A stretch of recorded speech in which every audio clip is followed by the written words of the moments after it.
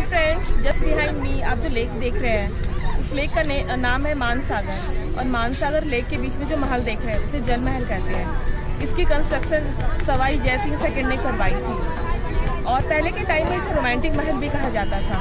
क्योंकि पहले के टाइम में जब राजाएँ युद्ध करके या तो शिकार करके आते थे तो अपनी पत्नियों के साथ यहीं पर रिलैक्स करते थे।